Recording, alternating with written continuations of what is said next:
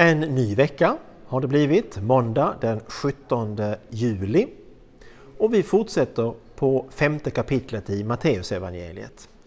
Nu har vi kommit fram till vers 21 och där kommer ett antal påståenden av Jesus där han ställer ”Ni har hört, men jag säger er” mot varandra.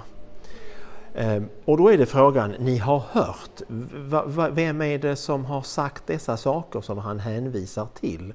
Och när han då säger, är det någonting helt nytt? Eller är det snarare så som det egentligen var tänkt?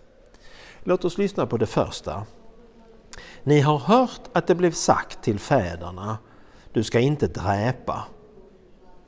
Men jag säger er, den som blir vred på sin broder undgår inte sin dom. Den som okvädar sin broder undgår inte att ställas inför rådet.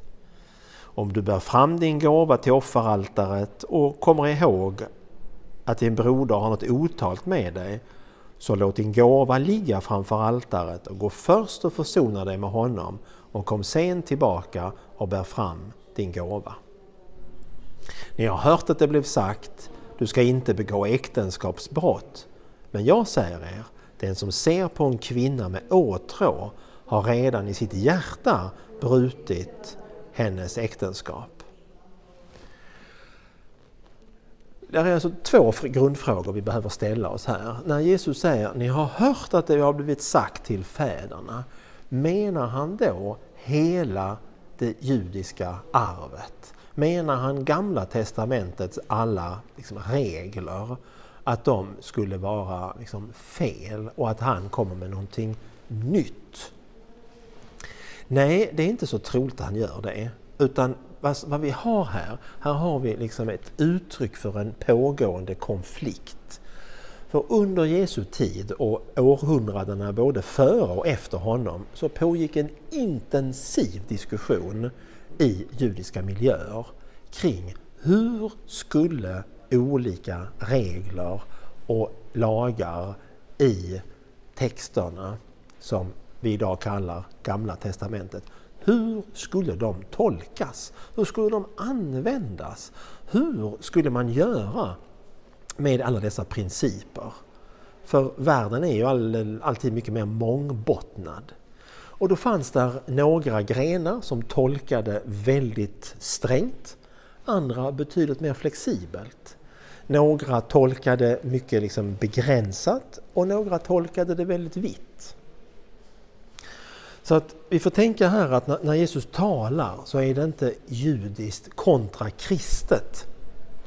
För det är inte alls den, vi befinner oss inte i det landskapet. Utan vi befinner oss i en situation där det fanns många olika tolkningar och Jesus kommer med en tolkning in i den här diskussionen. Ursäkta, det är mycket gräs i luften och då får jag lite gräsallergi och halsen blir lite konstig.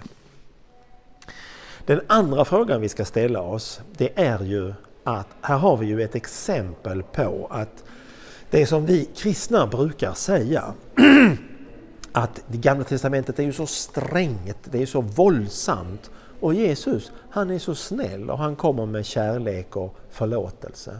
Ja, det är inte så självklart just här där det tidigare var du ska inte dräpa och Jesus säger nej det räcker inte, du ska inte ens bli arg. Och tidigare du ska inte begå äktenskapsbrott och Jesus säger nej du ska inte ens känna åtrå. Vad han gör här är ju att han gör dessa bud oerhört mycket strängare.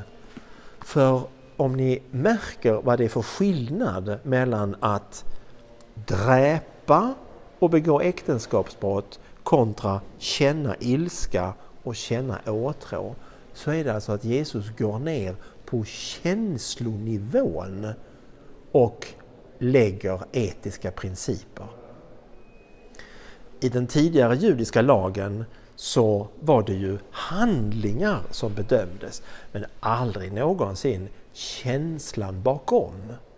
Men här märker vi att Jesus alltså förstärker mycket, mycket hårt dessa bud och går in på den känsla som människan har. Även om människan inte ens har agerat på den, så bara fenomenet att ha en känsla som är felaktig är problematisk.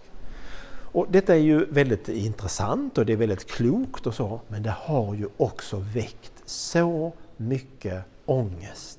Så många människor som under 2000 år har läst detta och känt att de har haft åtrå, de har haft ilska inom sig och känt att de har blivit jätterädda. De har försökt komma undan dessa känslor men inte klarat detta och därmed drabbats av samvetskval, självförakt. Och de har inte minst Luther själv som ju späkte sig, piskade sig, biktade sig hela tiden för att någonstans bli av med känslan. Så det är ju inte så att Nya Testamentet bara kommer med en massa förlåtelser, utan det kommer också av skärpning. Och det går in i människans insida. Människans känsloliv är i fokus i Nya Testamentet på ett helt annat sätt än det var i det gamla som fokuserade mer på gärningar och på mellanmänskliga relationer i ett samhällsperspektiv så fokuserar Jesus på mötet mellan två individer och vilken känsla som finns där. Fantastiskt, storslaget och viktigt men ack så riskabelt och problematiskt.